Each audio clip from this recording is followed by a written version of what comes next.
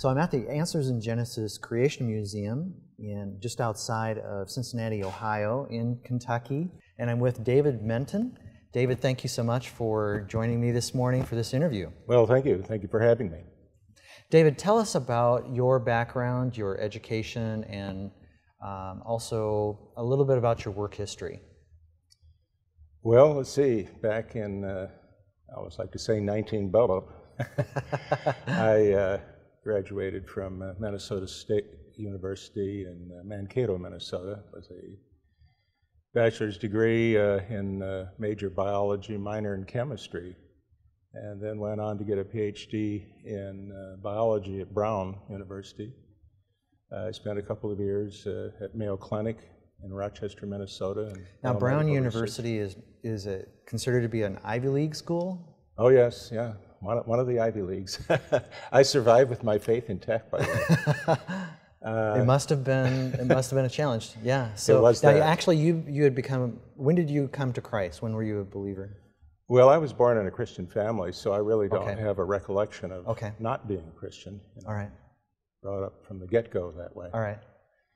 But as you said, you survived Brown Right, University. with faith intact. Might be harder to do today. Uh, isn't it interesting? A university with a motto like "In Deo Speramus," you know, "In God We Trust." And, Really. yeah, all the Ivy Leagues, I think, have a, a on their seal that. that's Mhm. similar that reflects their Christian background. Yes. And, uh, very interesting. I'm not sure in God we trust is really the primary attribute of Brown today, or probably any other secular university.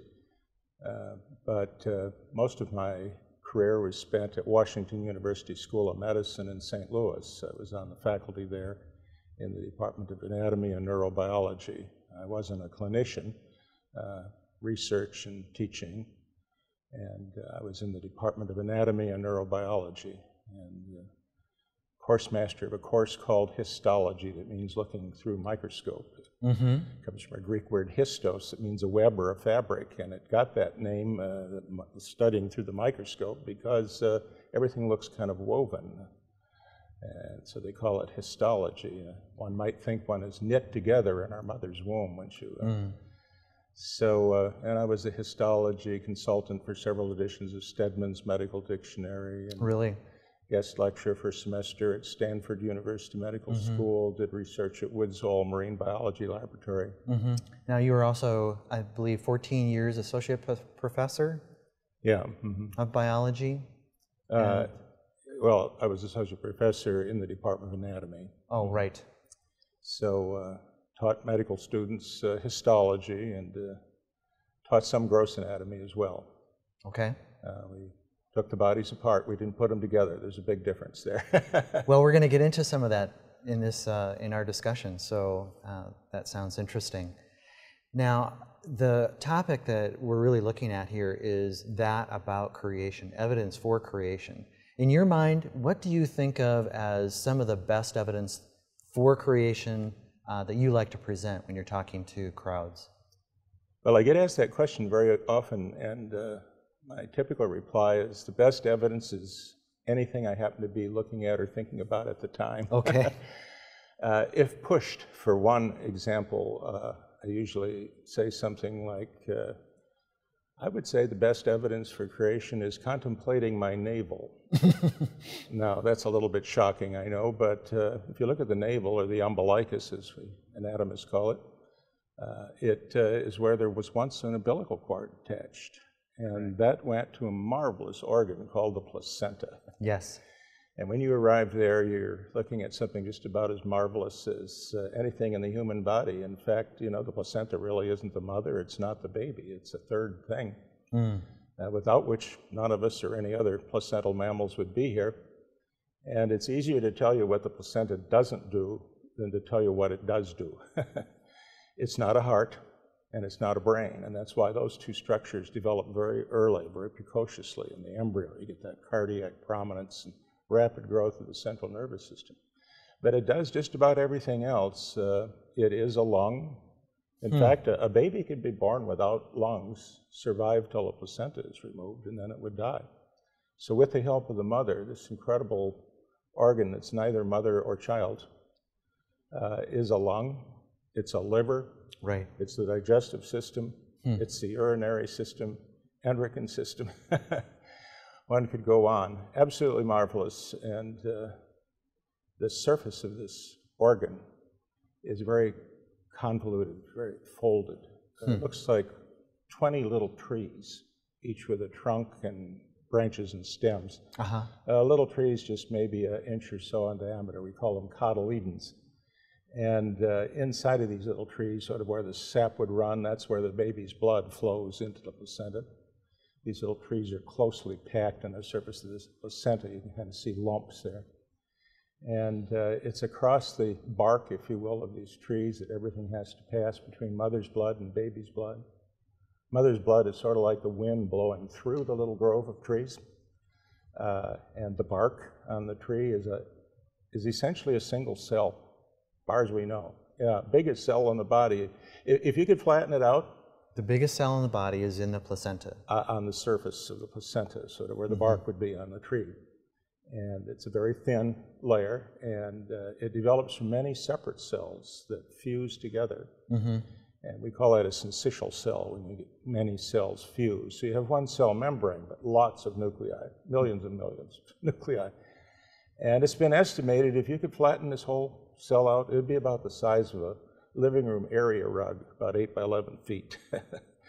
and across this seamless barrier, everything flows from mother's blood to baby's blood, or baby's blood to mother's blood. So a single cell has m- many nuclei. In this case, yeah, we And have so other the, examples the various of cells DNA like that. is in the nuclei, of course. Right. Yes. Uh, so it's through cell fusion. It's a standard trick by which the body makes big cells wherever it needs big cells, foreign body, giant cells, things like that. And, uh, so one could think of many other examples, uh, even simple little things. For example, our eyelids. Uh, we have a muscle that raises and lowers our eyelid, and it's primarily the upper lid that's moving, Okay. not not the lower lid, it's the upper lid. And the muscle that lifts it is skeletal muscle, like we have in our arms, called the levator palpebrae superioris. And uh, being skeletal muscle, uh, think of it, if we were to hold our lid open, like holding my hand like this, eventually the muscle would fatigue and the lid would go down. The Lord's aware of the problem. There's a second muscle that's smooth muscle called Mueller's muscle that sort of ties in with the skeletal muscle. And the advantage of smooth muscle is that it can contract all day long without fatiguing. So we have smooth muscle to hold our eyelid open on the long haul, keeps it from dropping. And then we have skeletal muscle, so maybe we can wink at one another, or go to sleep nights or whatever. Uh, the body's full of these things. So there's Go just on, all pick these different muscles could- working together to create to uh, allow that particular anatomy to work well. So this actually leads to a question that I is, is really a big mystery to me is how is it like inside each of the cells there's a great deal of communication going on. You know cells are like a city I understand. Um, but then the cells also interact and communicate with each other. And so, for example, what you were just talking about, you have the various muscles, and, and according, of course, the, tr- the brain at this point is probably um, you know, communicating with these muscles and, and help, helping them to having them contract and, and uh, do what they do. But as far as cells themselves, knowing, isn't there a communication process? Yes, cells definitely have to talk to one another, as it were. Uh, one of the channels by which cells talk are, are through little junctions called gap junctions, uh, where cell membranes touch one another. Uh, sort of like a little closer fit there, a little button. And uh, electrical signals can go across from one cell to another. Now, would they go from DNA to DNA in these Uh, cells? not necessarily genetic information, but uh, electrical information, ionic stimuli might go across. To, so, uh, yeah, to give you an example of how cells need to talk to one another, consider the cells in your heart. Uh, the heart doesn't require an external nervous system to contract. The heart muscle cells have a built in innate tendency to contract. If you have cells from the heart just growing in a dish, individual heart muscle cells, they contract Okay. in a rhythmic way. And if you had a dish full of these cells, they'd all be kind of marching to their own drummer, contracting at different times. But when two of these muscle cells touch one another and make this communication, they start contracting together. So clearly, cardiac muscles can talk to one another. Now, the heart does have a nerve supply. We need that to up and down regulate, you know, as we exercise or not. Uh, so without that sympathetic and parasympathetic nervous system, the heart couldn't up and down regulate. But without a nervous system, it will beat. One of the things that I is just such a, a, marvel and mystery to me is the thought of so if, if you get an injury or you get a cut, the body communicates to certain cells to uh, okay, we need white blood cells in this area for uh, infection control. We need uh, U cells to die. I mean, where, where's that information coming from? And how does that work to say, well, okay, so now these cells have to die so that there's um, healing that takes place? Yes, a great deal of that kind of signaling goes on as well, which doesn't involve cell to cell contact, but can involve chemicals that are dispersed in the environment around the cell, and these chemicals can cause other cells to react in certain ways to recruit cells, mm-hmm. Uh, to recruit white blood cells to show up at a site of infection, for example. Uh, there, there are many examples of this kind of recruitment. One of the most amazing, probably, is, are the bones of the body. We have two types of cells, basically, with bone. We have bone makers and bone breakers. you might be wonder why you need bone breakers. Actually, bone dissolver would be a better word. The bone maker is an osteoblast, which means a cell that makes bone. And the bone breaker is an osteoclast. That means a cell that eats bone or erodes it. Hmm. And bone is dynamic, it's changing all the time. We think of bone as sort of almost like rock or concrete or something, but no, it, it's alive. And uh, osteoblasts will lay down bone in one area, osteoclasts will remove it at another. And so your bones can actually change shape depending on how you're using them. A lady becomes pregnant, and all of a sudden we have 20 pounds of weight that hasn't been there a year Interesting. ago and the bones of the pelvis and of the legs and what have you will actually remodel, change its shape, if not on the surface inside, all these little beams bone called spongy bone can reorient. Or anybody gaining weight, I would imagine. Their yes. structure is bone actually bone density mm-hmm. needs to increase, or uh, losing is, weight a great deal. You know, this is so. why you know women who have problems with osteoporosis. Uh, usually, it's less of a problem for a lady who's who's heavy than it is for one who, who's very light. Uh, when astronauts were sent out into space and were weightless, they would lose bone density. Uh, now, if they weren't out there too long, they would gain that bone density back. But uh, my understanding is that some of the Russians who were out there for you know many months uh, had trouble getting full recovery of that bone loss. So uh, yeah, lots of lots of signaling between cells in the body, and some cells you wonder what kind of signal they could get. For example, on our skin, uh, the dead cells on the surface are falling off as individuals. You know, uh, not one at a time, but individually, unless you have a scaling disease. And uh, they're falling off at a rate that if you just were to take off your clothes and stand in one spot for a year, at the end of a year, you'd have about eight, nine pounds of dead cells at your feet.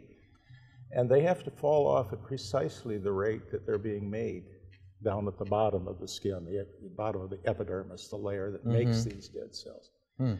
And uh, so, how, how, can they fall off at just the right rate? If they fell off, say, 1% too fast, you could lose the stratum corneum in time. And uh, without that dead layer in your skin, you probably wouldn't survive more than an hour. Uh, you'd have massive water loss, go into shock, and die. So we don't think of the dead layer, the skin that uh, blisters when we get a burn or something as being that essential to life, but it is. Uh, so many parts of the body have to work together, work together perfectly. People say, you know, sometimes, how can you believe the eye evolved by chance? It's too complex. But that's not the issue. Complex just simply means, boy, there's a lot of parts in the eye. Mm-hmm, mm-hmm. But the parts, just like the parts of an airplane lay, laying out on a runway, will not fly. It requires something else. It requires specification. In other words, parts have to be put together in a certain way. Okay. And when they're put together properly, then the parts integrate with one another. And so finally, it's integrated complexity uh, that really is what makes the body so special.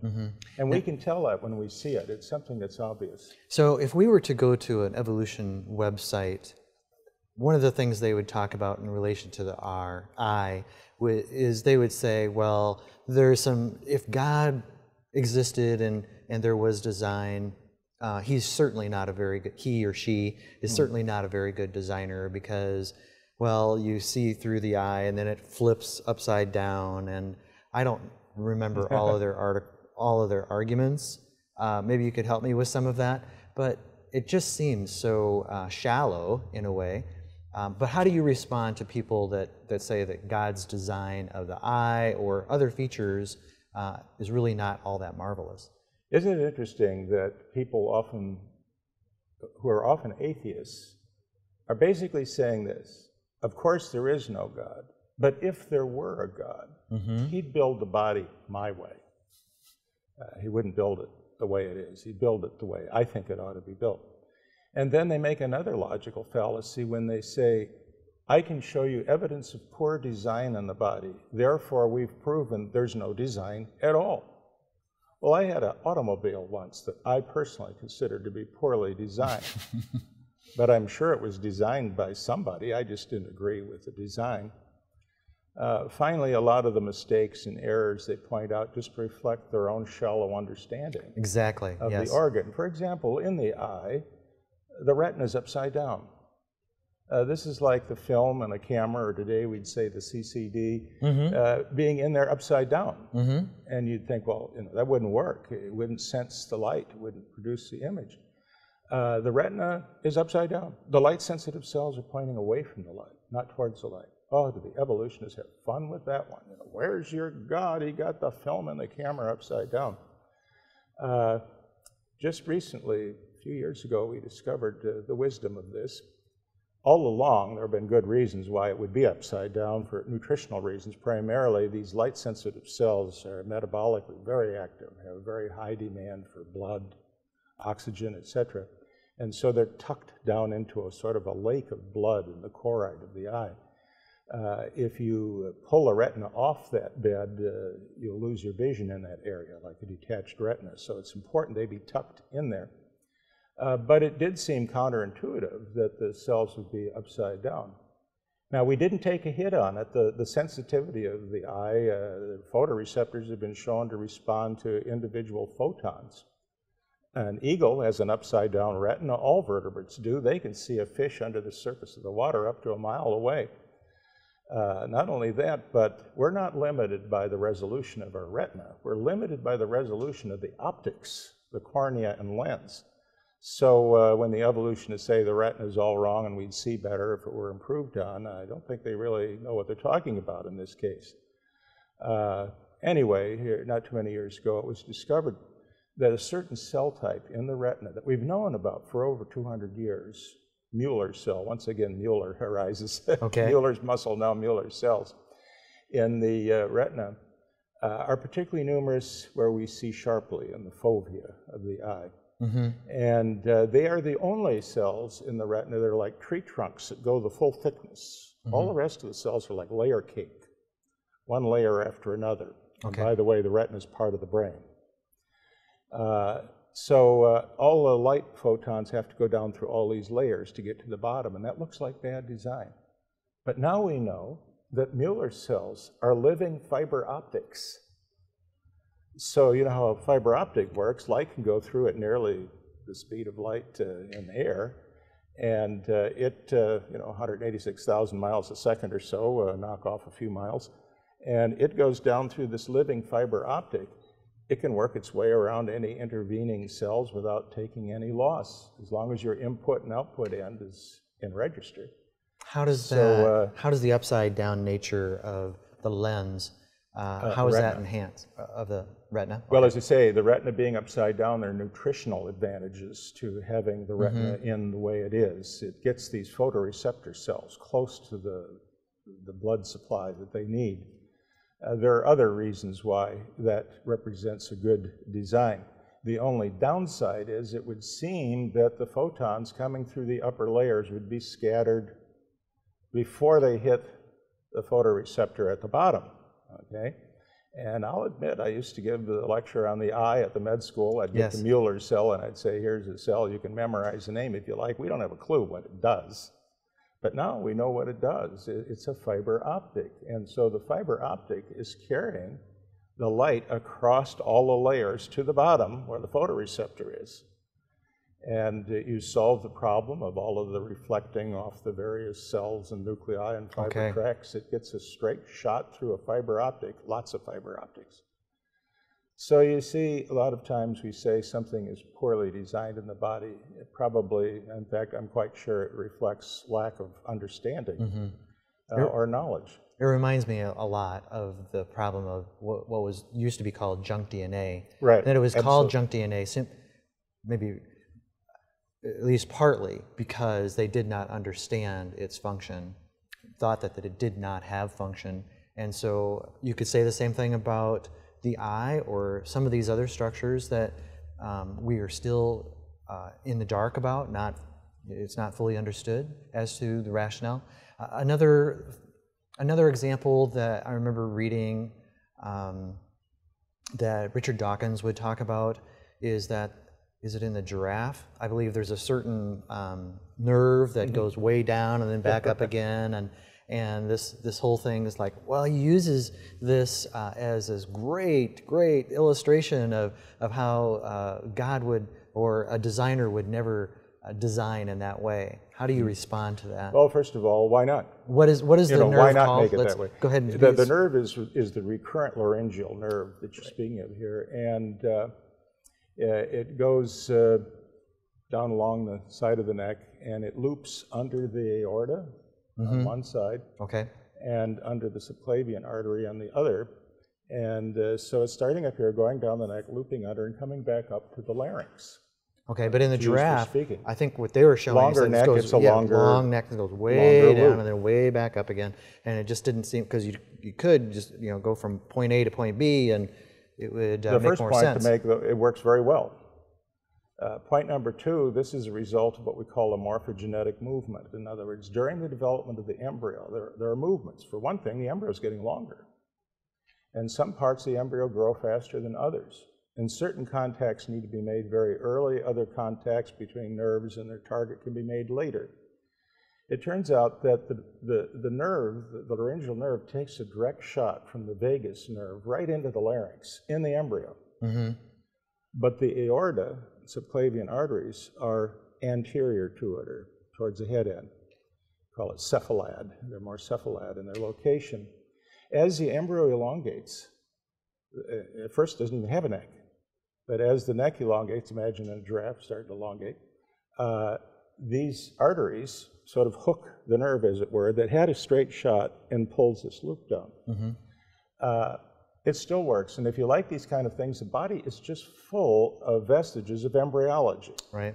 Uh, we have a lot of interesting vessels. For example, the blood vessel, the artery and vein that goes to the ovary and the testes, takes a route that's almost two feet long. hmm It's coming up from high on the aorta and inferior vena cava and going all the way down to the location of the gonads, be they testes or ovaries. Right.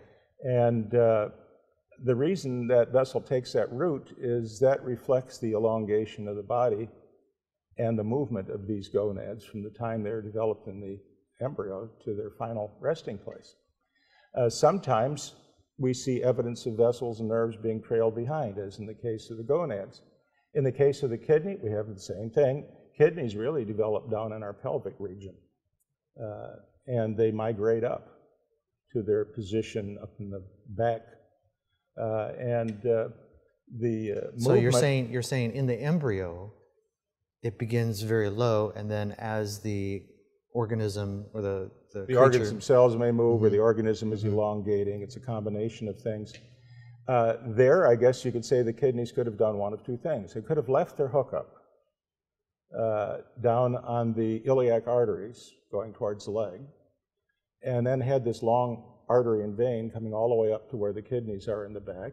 Or in this case, it doesn't do that. In this case, as the kidneys move up, the arteries are sort of like a pair of them, and they walk like this. They walk up the vessels. And so they make their attachment more directly right into the aorta and the vena cava rather than having a trailing vessel going down to the legs. Uh, but if you've done some gross anatomy, as I have, and dissected enough cadavers, you've seen every variation possibly imaginable. I've seen a whole fan of arteries going from straight into the kidney, all the way down the aorta, all the way to the leg. So uh, people talk when they sometimes really don't know what they're talking about. David, this has really been a pleasure. I very much appreciate you uh, doing this. And so, whether it's um, a nerve from a giraffe or the eye and or, or any number of other features, we're seeing God's marvelous design and, and creativity uh, in these features. Thank you so much for all your uh, expertise, your um, how you speak, uh, the many, many messages you've given that are very, very interesting through uh, Answers in Genesis. Thank you for your help.